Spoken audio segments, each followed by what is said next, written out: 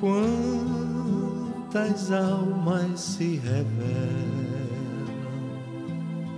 no caminho que se segue. Quanta alegria em tantos lábios que pedem.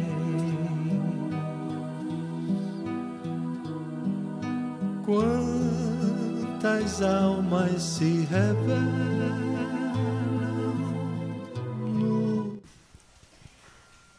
Queridos companheiros, que a paz de Jesus esteja entre nós. Uma boa noite para todos. É um prazer muito grande nos encontrarmos aqui no Centro Espírita Trabalhadores de Jesus, junto a esses queridos companheiros trabalhadores de Jesus. Nós trouxemos para a nossa reflexão da tarde e noite o Consolador prometido, o Cristo Consolador. Na época de Kardec, no século XIX, a ciência se bifurcava em duas vertentes. De um lado, a observação dos fenômenos o que se chamou fenomenologia. E, de outro lado, a reflexão filosófica. Reflexão essa que buscava as leis que explicassem esses fatos, ou melhor dizendo, o conjunto de leis que pudessem conectar esses fenômenos aparentemente desconexos, o que se chamou de método indutivo. Pois bem, Allan Kardec, ele seguiu a, a ciência da época, o método científico da época, porque ele, ele não observou fenômenos uh, de um gabinete, de um escritório. Não. Ele saiu em busca desses fenômenos, observou esses fenômenos e, de forma inusitada, ele conseguiu, através do seu intercâmbio com os espíritos, descobrir as leis que explicavam esses fatos. Então, como nós vimos, Allan Kardec, aquela época, assentou a doutrina espírita em dois aspectos: no aspecto científico e no aspecto filosófico. Mas, logo cedo, Allan Kardec percebeu que esses dois aspectos trariam consequências na vida das pessoas, na vida em sociedade. E então, Allan Kardec foi buscar um outro aspecto, que foi justamente o aspecto religioso.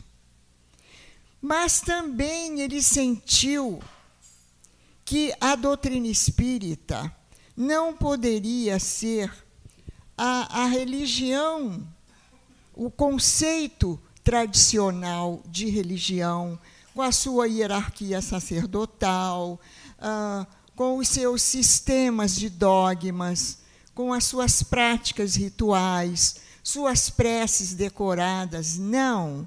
Nesse conceito, o Espiritismo não era religião. Entretanto, ele foi buscar, ele foi buscar um novo projeto.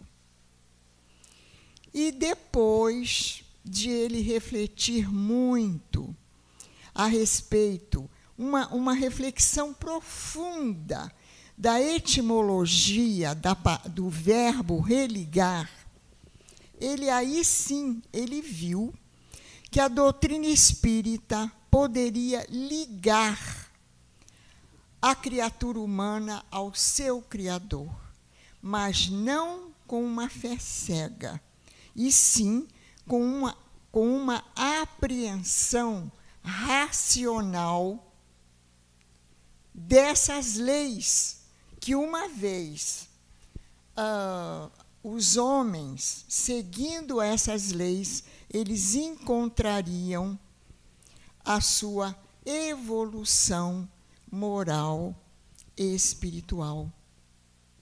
E nós vamos ver então, na primeira, na primeira edição de O Livro dos Espíritos, que surgiu com 501 perguntas, em 18 de abril de 1857, nós vamos encontrar, nessa primeira edição, na pergunta 301, Allan Kardec indagando aos benfeitores espirituais.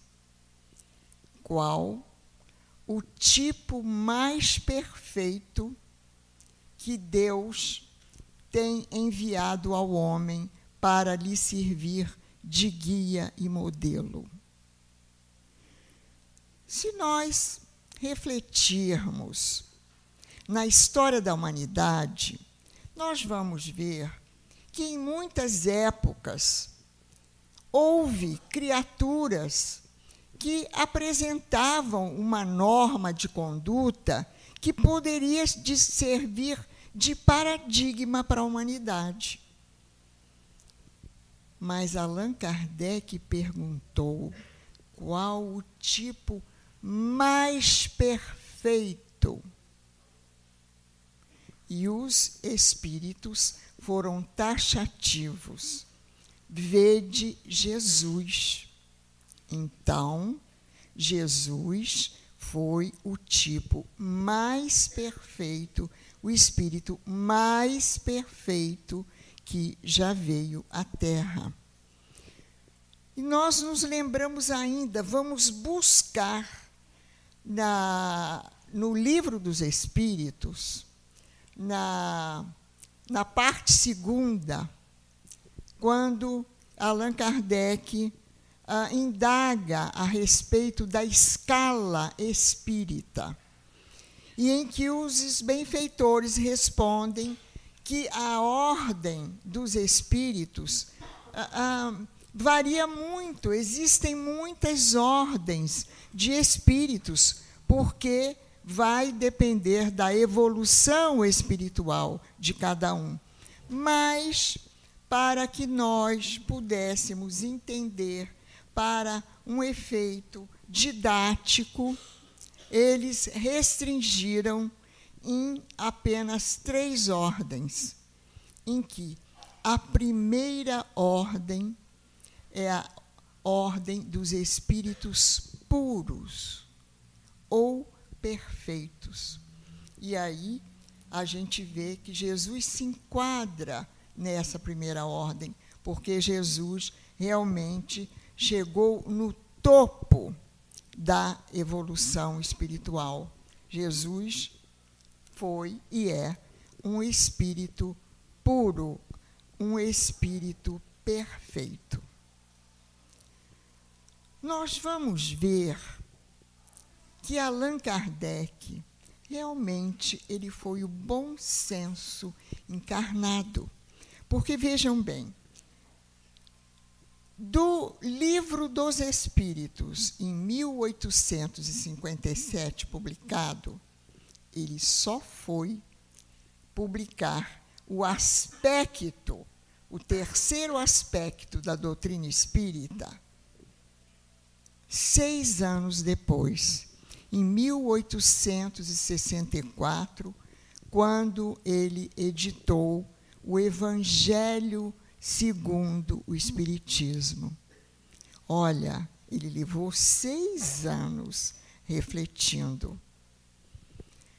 Pois bem, acontece que, apesar de Allan Kardec ter construído uma, um monumento que foi a codificação do Espiritismo, ele, o seu último livro foi lançado em 1868, que foi a Gênese. E um ano depois ele desencarna. Então ele não pôde, não pôde desenvolver a doutrina espírita. Ele não pôde desenvolver os postulados da codificação, porque do, quase 12 anos foram muito pouco realmente. Ele, ele insetou um, uma obra de gigante com os postulados da doutrina espírita. Mas ele desencarnou e não teve tempo, como eu disse, de desenvolver uma doutrina dinâmica e progressista como a doutrina espírita. Houve assim um interregno ah, na evolução do, do movimento espírita, principalmente no Brasil. Outro dia até nós tivemos um orador comentando a respeito disso, porque a, a, até então os escritores eram encarnados, nada contra, é claro. Nós tivemos um Leon Denis após a desencarnação de Allan Kardec, nós tivemos Ernesto Bozano, William Crookes e tantos outros que se notabilizaram no aspecto científico e filosófico da doutrina. Mas, até então, não havia surgido alguém que realmente se atesse a, a, a terceira, ao terceiro aspecto, que, era o, que é o aspecto religioso. Então, passou-se.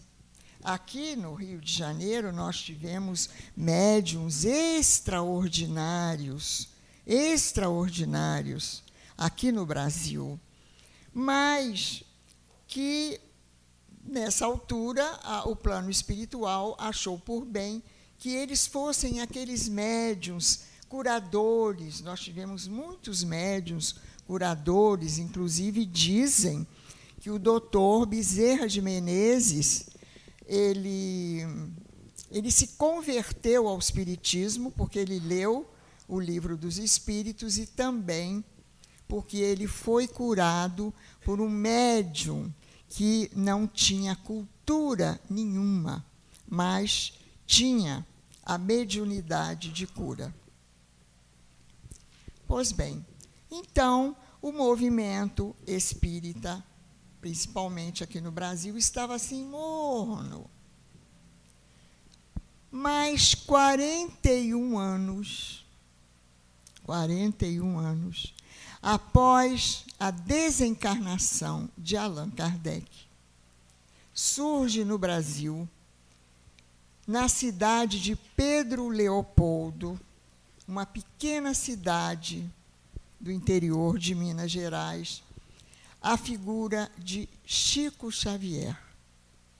Chico Xavier veio com a missão de desenvolver aquilo que Allan Kardec não pudera fazer. E assim como Allan Kardec foi assessorado por uma pleiade de espíritos que cujo coordenador maior foi o espírito de verdade, Chico Xavier também ele teve uma pleiade de espíritos que vieram junto a ele para fazer esse desenvolvimento, essa ampliação que Allan Kardec deixou. E veio junto à mediunidade de Chico Xavier o espírito Emmanuel o sábio e culto espírito de Emmanuel. E para nós termos uma ideia de que, como também foi monumental a obra deixada por Chico Emmanuel, nós gostaríamos de dizer que, com 20 anos de idade, Chico publicou a sua primeira obra mediúnica, que foi Parnaso de Além Túmulo, que foi ah, poesias recebidas do plano espiritual por uma pleia de, de poetas brasileiros e portugueses. E que teve uma repercussão muito grande aqui no Brasil, principalmente nos meios literários. Pois bem, o que não se sabia até há pouco tempo, o que não se sabia, é que essa primeira obra recebida mediunicamente por Chico Xavier, com a coordenação do Espírito Emmanuel, essa obra, o conteúdo dela, apesar dos versos, dos sonetos decassílabos e alexandrinos, continha continha os postulados da doutrina espírita. Alexandre Caroli Rocha, ele apresentou no ano de 2001, na Unicamp, uma tese de mestrado a respeito desse livro, em que ele estudou o conteúdo das mensagens, estudou os estilos e chegou à conclusão chegou à conclusão de que ali se encontrava, naquela obra, a primeira obra de Chico Xavier como médium, os postulados da doutrina espírita. E para vocês terem uma ideia, nós vamos falar um versinho aqui sobre um, uma poesia de, de Augusto dos Anjos, que se encontra no livro, chamada Vozes de uma Sombra, em que Augusto dos Anjos diz o seguinte: De onde venho? Das eras remotíssimas, das substâncias elementaríssimas, emergindo das cósmicas matérias. Venho dos invisíveis protozoários, da confusão dos seres embrionários, das células primevas das bactérias. Aí nós temos a trajetória do princípio inteligente, do princípio espiritual, como, como admitia Allan Kardec. Companheiros,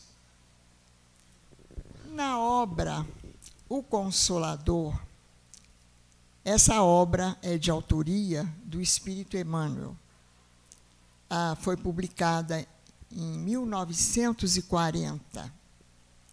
Lá nessa obra, Emmanuel dizia o seguinte: abre aspas.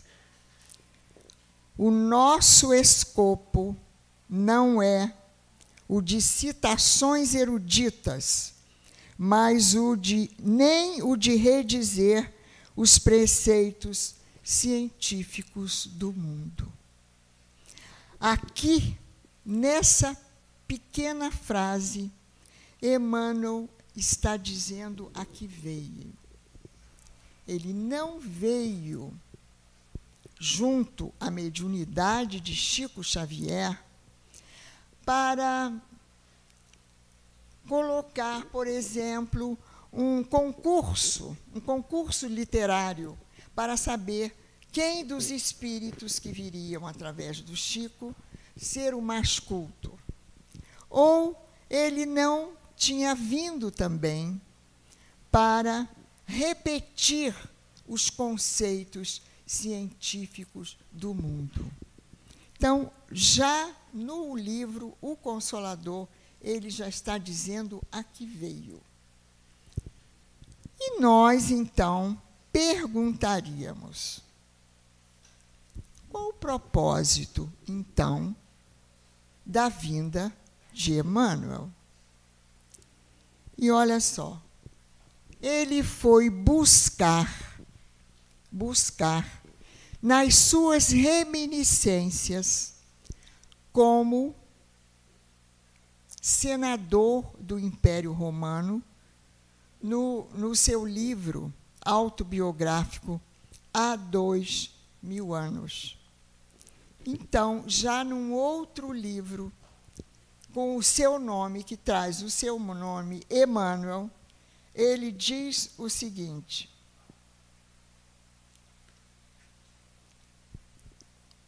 Quando falamos na influência do Evangelho nas grandes questões sociológicas da atualidade, apontamos às criaturas o corpo de leis pelas quais devem nortear sua vida no planeta. Corpo de leis. Companheiros, isso nos remete a Allan Kardec, quando ele dizia que os postulados espíritas teriam consequências morais e éticas na vida das pessoas. Olha, Emmanuel, em concordância com o pensamento de Allan Kardec. Então, qual a conclusão que se chega?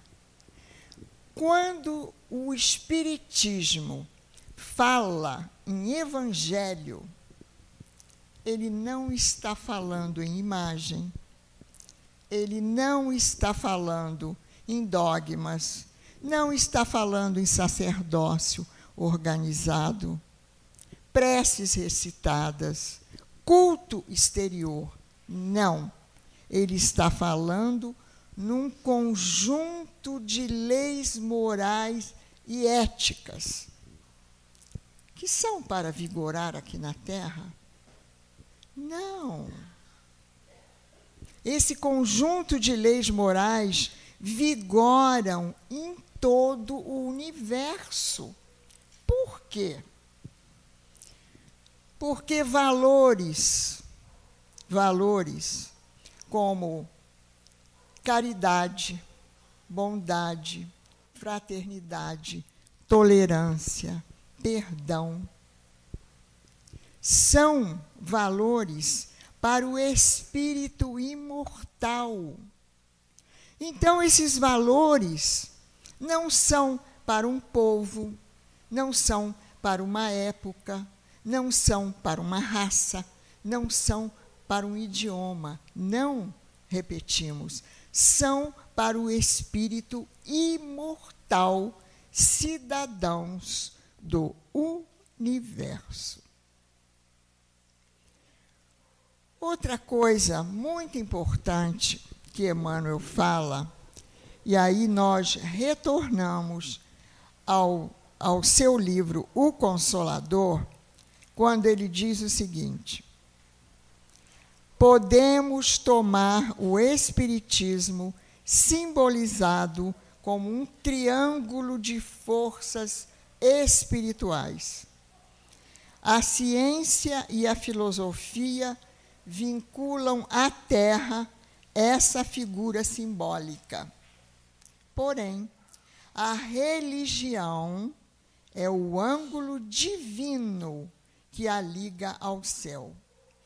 No seu aspecto científico e filosófico, a doutrina será sempre um campo nobre de investigações humanas. No aspecto religioso, todavia, repousa a sua grandeza divina por constituir a restauração do Evangelho de Jesus Cristo, estabelecendo a renovação definitiva do homem para a grandeza do seu imenso futuro espiritual. Como assim? Quando se fala em evangelho, se fala, ou melhor dizendo, quando se fala em espiritismo, se fala em evangelho restaurado. Por quê? Por que que Emmanuel falou isso? Porque nós, nós, em reencarnações transatas, nós corrompemos, nós deturpamos o Evangelho de Jesus.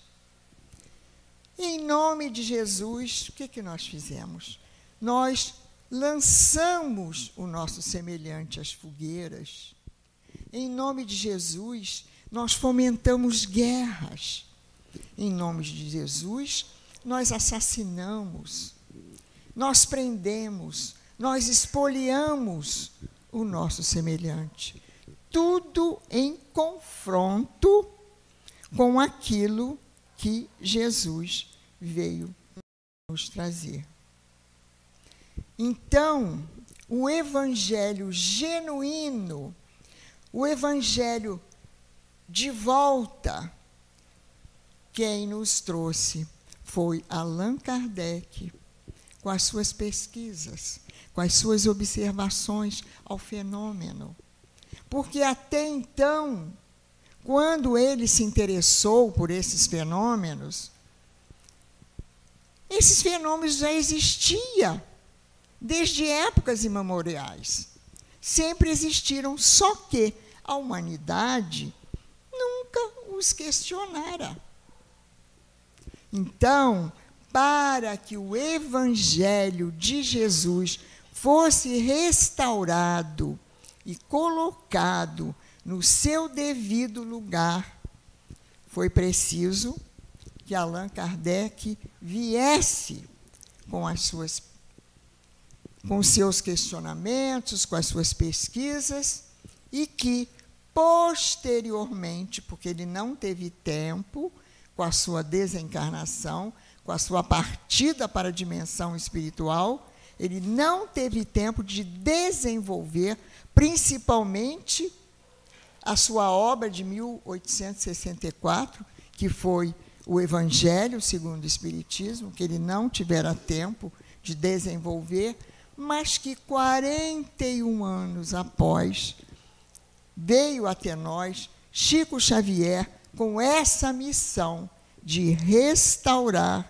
o Evangelho. Por isso que quando a gente fala em Espiritismo, a gente fala em Evangelho restaurado. Aqui, ele ainda continua. E olha que coisa interessante que esse esse sábio fala, Emmanuel. Ele diz o seguinte: não existe, por exemplo, para a doutrina espírita e para o evangelho, não existe diferença entre este salão e o nosso lar, a nossa casa, a nossa residência. Por quê?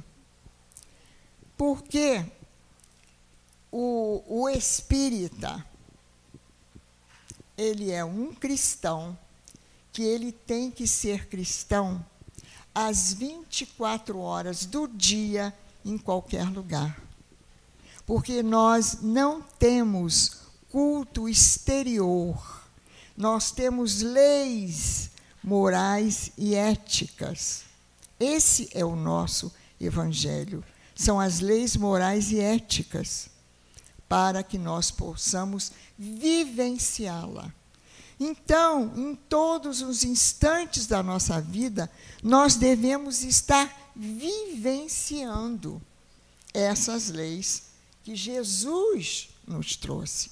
Foi Jesus que nos trouxe. Então, Emmanuel diz o seguinte: toda a terra para o cristão é seu altar de oração e seu campo de trabalho ao mesmo tempo. E ele diz o seguinte: quando alguém está lavrando a terra com a enxada, naquele momento o campo é o altar. E quando ele, à noite, o lavrador, vai para o grupo espírita para participar, o altar é o campo.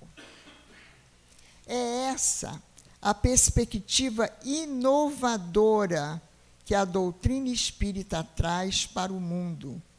Porque na concepção tradicional, sempre a concepção tradicional, na concepção tradicional de religião, eu sou religioso quando estou dentro do templo. Mas quando eu estou fora, eu sou eu mesmo. Mas com o espírita não é assim. Ele, para ser um verdadeiro espírita cristão, ele tem que ser cristão em qualquer circunstância. O, eu, eu, eu achei uma coisa assim tão fantástica. Foi o, o o que o nosso companheiro pesquisador andou pesquisando e ele chegou a uma conclusão extraordinária que, para aqueles que não sabem, eu quero trazer para vocês, porque realmente é um, um, um achado extraordinário. Aqueles que estudam doutrina espírita sabem que Emmanuel ele tem uma série de livros em que ele pega pequenos trechos do Evangelho de Jesus e interpreta. Tem, ele começou essa série começou com Caminho, Verdade e Vida, depois vieram Fonte Viva, Vinha de Luz, Pão Nosso, Ceifa de Luz, uh, Palavras de Vida Eterna. E esse companheiro nosso, fazendo uma pesquisa sobre a obra de Emmanuel, ele diz o seguinte: que no prefácio do livro Caminho, Verdade e Vida, que foi o primeiro dessa série de comentários de Emmanuel a respeito de passagens evangélicas, Emmanuel diz o seguinte, novamente Emmanuel falando: muitos estranharão a nossa atitude de isolar versículos aparentemente diferentes do contexto para fazer comentários. Ponderamos, porém, que num colar de pérolas, cada qual tem valor específico, e no imenso conjunto de ensinamentos da Boa Nova, Cada conceito do Cristo ou dos seus colaboradores direto adapta a determinada situação do espírito. Colar de pérolas. O que, Emmanuel terá querido dizer com esse colar de pérolas? Então, esse companheiro nosso ficou comentando uma porção de, de, de, de passagens evangélicas uh, que a, a, nós, criaturas humanas, muitas vezes passamos por determinados problemas, então a gente vai se lembrar de Jesus. Então aí se lembra de Jesus na cruz, quando estava sofrendo muito, que foi abandonado pelos seus companheiros. Então eu até eu até me lembrei de uma passagem evangélica, aquela passagem em que logo após a desencarnação de Jesus, os, os os discípulos estavam uh, saíram muito cedo de casa e foram pescar e retornavam de uma pesca que não haviam conseguido nada e retornavam muito tristes quando veem já estava amanhecendo o dia quando veem um homem na praia. Então conheceram que era Jesus. E Jesus, conversando com eles, com licença,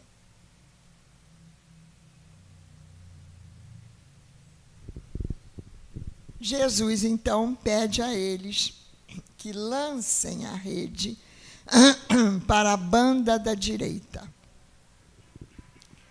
E uma vez eu comentava esse, esse, esse, essa passagem.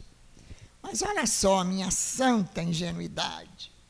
Aí eu me lembrei assim: ah, olha só, Jesus se utilizou da dupla vista, porque Jesus tinha todos os dotes mediúnicos. Então ele viu que naquele lado da banda direita do barco tinha os peixes que eles desejavam.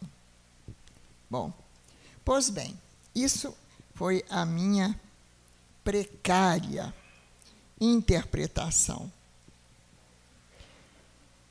Mas vejam bem o que fala o nosso companheiro pesquisador.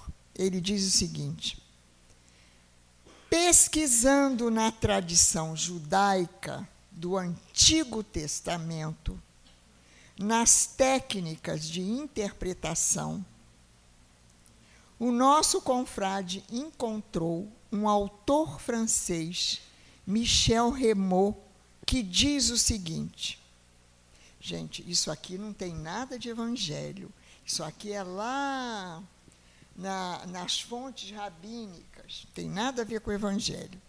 Então ele diz o seguinte: nas fontes rabínicas encontramos diversas alusões a um método de comentários da Escritura, as Escrituras antigas, sagradas, chamada colar de pérolas, em hebraico, harizá. Em que consiste esse método? Consiste em compor um colar de versículos a respeito de um assunto para salientar a unidade da Escritura, que é o reflexo da própria unidade de Deus. E a gente fica pensando, meu Deus, quem é esse espírito? Quem é Emmanuel, que conhece essa técnica milenar? Esse homem, esse francês Michel Remot, ele pesquisa esses, essas escrituras antigas e encontrou isso. Então, Emmanuel, nós apreendemos disso tudo que Emmanuel quis também dizer o quê?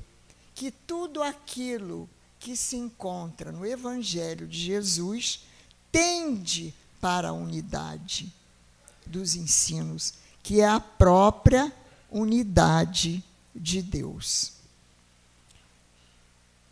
Mas, como eu dizia, eu parei para falar a respeito do colar de pérolas. Mas vejamos como a doutrina espírita interpreta a passagens evangélicas, como é diferente da, da, desses comentário, comentários tradicionais que se ouve por aí. Então, nós vamos voltar a Emmanuel no capítulo 21 do Caminho, Verdade e Vida, quando Jesus diz: E eles e ele lhes disse: Lançai a rede para a banda da direita do barco e achareis. Essas são as palavras de Jesus.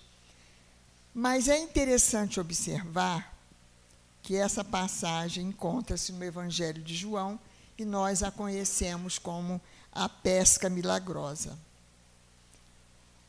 Jesus, como eu dizia, né, encontrava-se ressuscitado e viera ter com seus discípulos.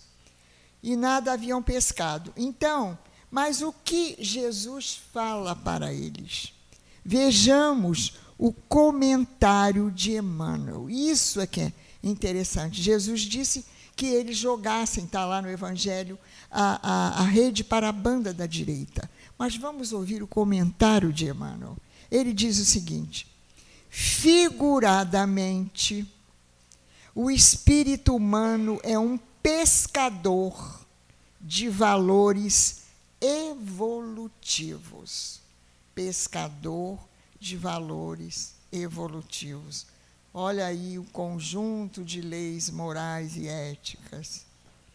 Na escola regeneradora da Terra, a posição de cada qual é o barco. Em cada novo dia, o homem se levanta com a sua rede de interesses. Estamos lançando a nossa rede para a banda da direita? Olha como é muito mais profundo o comentário de Emmanuel, porque, como ele diz, tudo no Evangelho serve para nós. Nós temos que estar sempre consultando o Evangelho de Jesus, porque nós sempre encontraremos o que fazer da nossa vida, da situação que a gente esteja vivendo no momento. Mas nós não podemos fazer essa interpretação bem, bem material das coisas. Nós temos que ir no sentido mais profundo. Companheiros, a hora avança. Nós estávamos terminando de preparar essa essa despretensiosa ah, isso que nós trouxemos hoje para vocês. E, e, me deu vontade de pegar a revista Espírita, que é outra, é, é uma, uma obra de Allan Kardec que nós precisamos também estudar. Então, eu fiquei assim, por acaso, meus olhos caíram assim. Então, olha só o que eu encontrei, gente antes de o lançamento de o Evangelho segundo o Espiritismo, porque eu tive muito interesse de saber o Evangelho, quando é foi, seis anos depois, estava pesquisando isso. Então eu encontrei isso. Antes de o lançamento segundo o Espiritismo, o Evangelho segundo o Espiritismo, em 1864, os espíritos superiores em 14 de dezembro de 1863, diziam a Kardec, está lá, na Revista Espírita, de 14 de dezembro de 1863, os espíritos diziam para Kardec: com esta obra, o Evangelho segundo o Espiritismo, com esta obra, o edifício começa a libertar-se dos andaimes. E já podemos ver-lhe a cúpula a desenhar-se no horizonte. Ao ser questionado sobre a posição do Evangelho de Jesus na educação religiosa dos homens, Emmanuel responde em O Consolador: o Evangelho é o edifício da redenção das almas. Companheiros, a cada dia que passa, mais o nosso coração se enche de gratidão por Kardec, que quebrou pedra para nos trazer a doutrina espírita. Mas não fica atrás o esforço e aquilo tudo que nos trouxe, essa dupla que foi Chico Xavier Emmanuel. Que incrível sintonia! Sintonia entre Chico e o seu mentor espiritual, sintonia entre o seu mentor espiritual, Chico, e Allan Kardec. Hoje nós entendemos por que quando Emmanuel se aproximou de Chico em 1931, ele disse: O dia que você sentir que eu estou me divorciando dos postulados espíritas, você me abandone e fique com Jesus e Kardec. Mas ele nunca, Emmanuel, nunca se afastou uma linha dos postulados espíritas. Então, ele, ele receba toda a nossa gratidão, toda a nossa admiração pelo que ele realizou. E interessante a gente notar que os espíritos prepararam todo o terreno, é a conclusão que se chega. Os espíritos prepararam todo o terreno para a consolidação do Espiritismo como religião. Será que nós ainda temos alguma dúvida sobre isso? E encerrando, encerrando, nós queríamos lembrar que no, no Evangelho de João, no capítulo 14, versículos 15 a 18, quando Jesus se encontrava às vésperas da Páscoa, quando ele teve aquela ceia com os discípulos, que alguns julgam que essa ceia tenha sido na casa de Maria, lá em Jerusalém, que era mãe de Marcos, aquele que se tornaria mais tarde um dos evangelistas.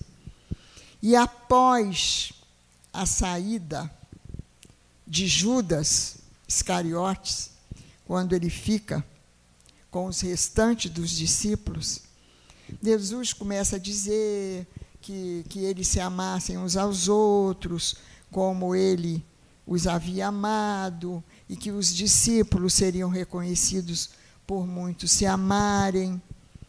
Então, em dado momento, Jesus disse: E eu rogarei ao Pai, e ele enviará um outro consolador, que ficará convosco para sempre, que virá relembrar aquilo que eu disse e explicar outras tantas coisas que não poderíeis compreender agora.